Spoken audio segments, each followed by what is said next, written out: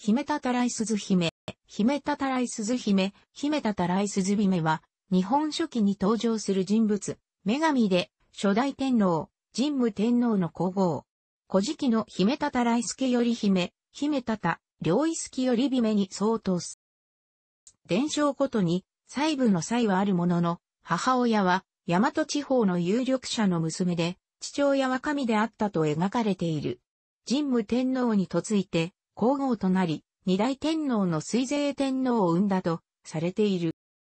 古事記では、はじめ、不当たた、両イススキ姫、ホトタタライススキ姫、ホトタタライススギ姫という名であったが、後に、姫たた、両イスキより姫、姫たたらいすけより目に改められたことが示されている。詳細は、古事記に見る、出自参照。単に、イスキより姫と書くこともある。また、単に、イスズ姫命ということもある。ただし、妹のイスズより姫命との混同に注意。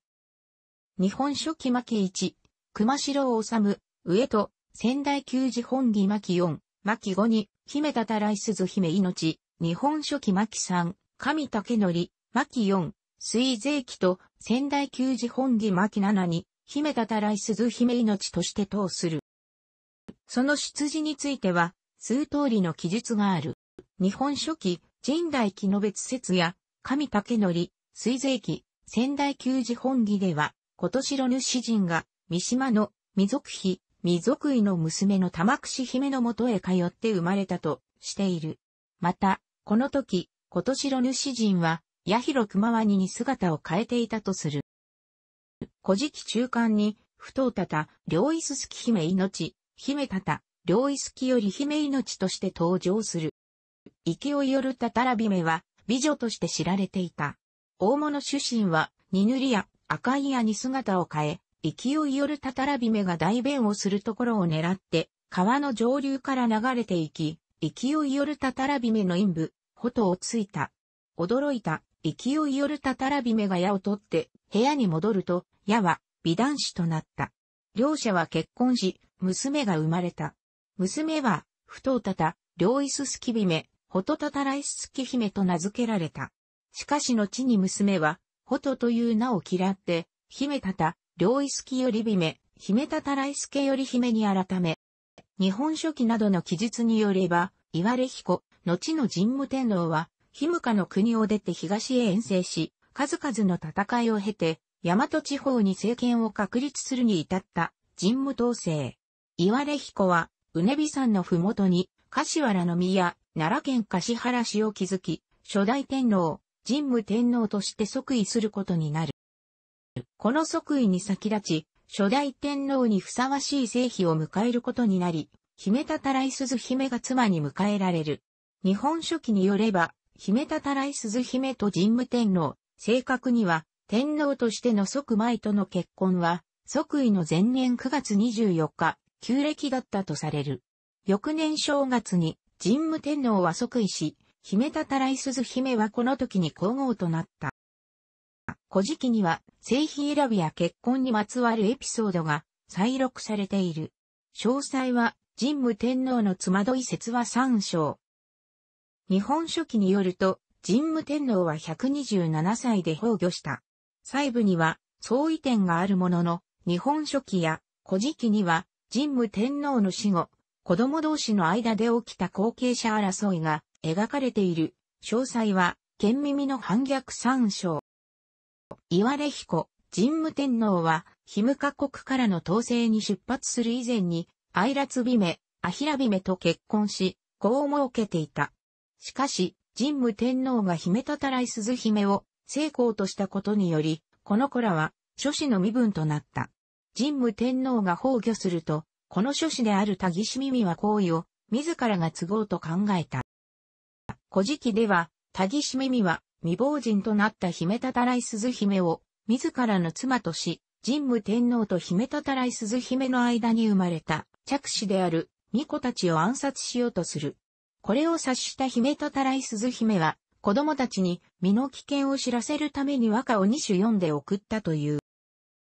これらの偶意化により、タギシ耳の反逆の意図を知った着子たちは逆に先手を打ってタギシ耳を討ち取った。その際に、最も活躍した神沼川耳命が行為を継ぎ、二代、天皇、水税天皇として即位した。日本書紀に従えば、水税天皇元年正月8日に、姫たたらい鈴姫は、皇太后を称するようになったという。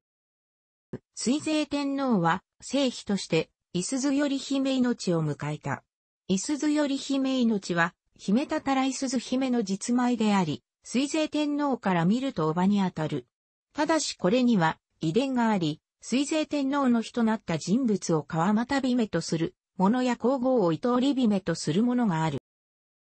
神武天皇との子は、年長から順に、彦発生命、神谷耳の命、上沼川耳命、水税天皇である。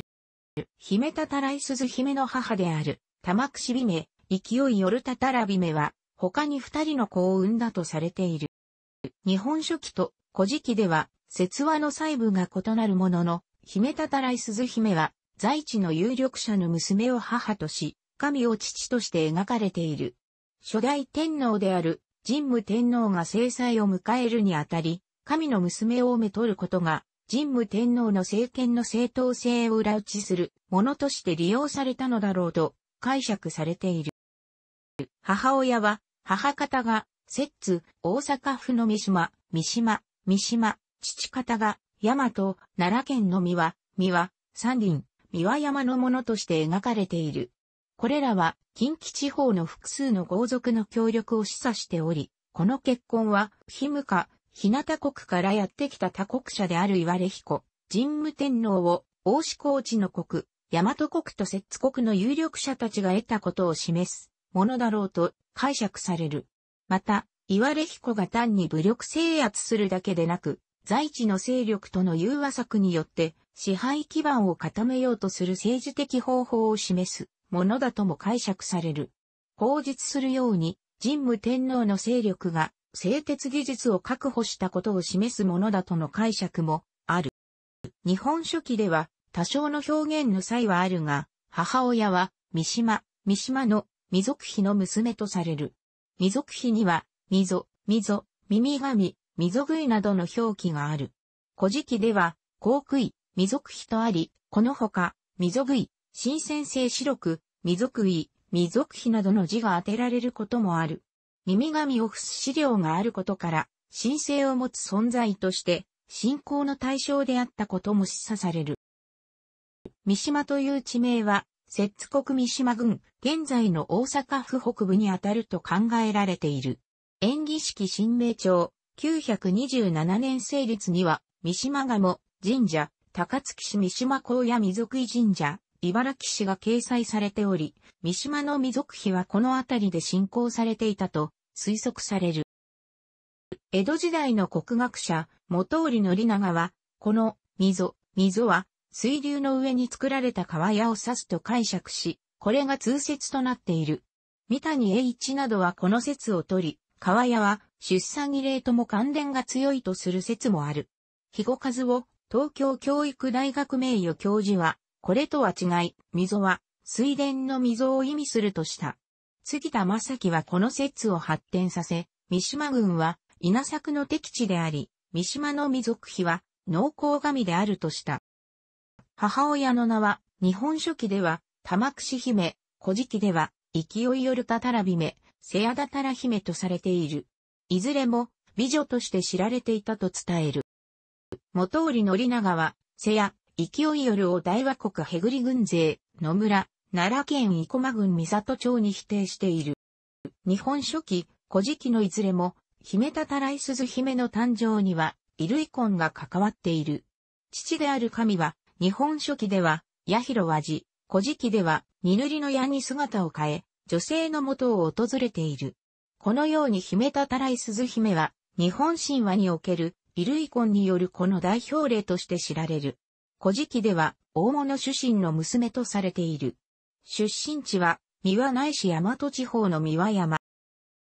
この子は、不当たた、両椅子すき姫、ほとたたらいすき姫と名付けられた。これは、ほどを疲れてびっくりして生まれた子の意とされる。母親に似て美女であったとも言う。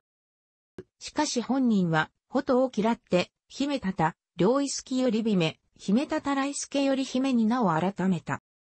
当初の名前である、ホトタタラは、母の勢いよるたたら姫が陰部を矢で疲れたという説話に由来し、陰元立、ホトダタラの意など、立つの派生型と見る解釈がある。後から、この、ホトを嫌って、姫へ改めたという。これとは別に、タタラは、母の勢いよるタタラ姫、セアダタラ姫から、名の一部を受け継いだものとする説などもある。また、イススキは、驚いて立ち去るの意だとされ、これを言い換えたのが、イスケとされる。一方、名に含まれる、タタラは、製鉄とのつながりを示唆するという解釈があり、神武天皇が姫たたらい鈴姫を嫁としたことは、政権が当時の重要技術である製鉄技術を抑えたことの象徴でるとする説がある。詳細はたたら製鉄との関連参照。いすず、いすずは鈴を意味し、たくさんの鈴で手足を飾っているものを指すという説や、金属加工との関連を示唆するものと見る向きもある。これらとは異なり、元の名の、イススキが、イスズに転化したと考える説もある。よりは、よろし、よとする説や、ゆりの花に通じ、姫たたらい鈴姫、伊助より姫の実家である、三輪山のふもとの京井川川岸に咲く笹百合を指すとの解釈もある。神武天皇は、即位に先立ち、初代天皇にふさわしい聖妃を迎えることになった。この時、ヒムカ国から岩出彦、神武天皇に付き従ってきた家臣である、大久米命が、高候補として推挙したのが、伊助より姫、姫たたらい鈴姫だった。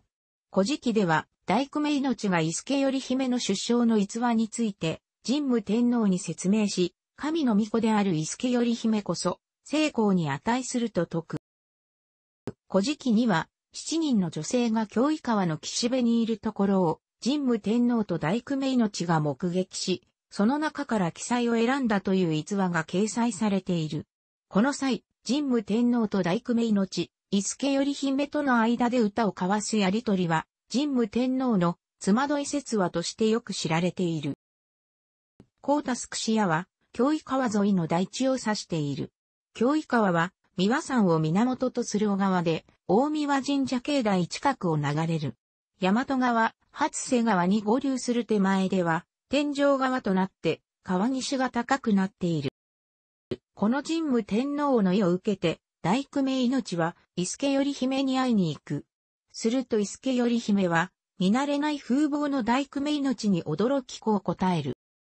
これに対し大工名命は次のように返す。この後、伊助より姫は嫁入りを承諾する。神武天皇は、助井川、京井川の上にある伊助より姫の家に行って一泊する。この時の様子は次のように読まれている。この部分には、京井川の地名の由来に関する注釈がある。このあたりには、山ゆり草、山ゆり、実際には笹ゆりのことが多く、山ゆりの衣装を、スケイというので、この川を、スケイ川、京井川と呼ぶとある。現代の京井川の右岸には、神武天皇成績教井川検証碑が設置されている。